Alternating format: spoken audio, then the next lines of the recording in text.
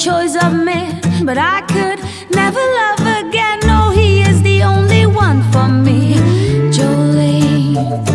Now, here to have this talk with you, my happiness depends on you and whatever you decide to do, Jolene.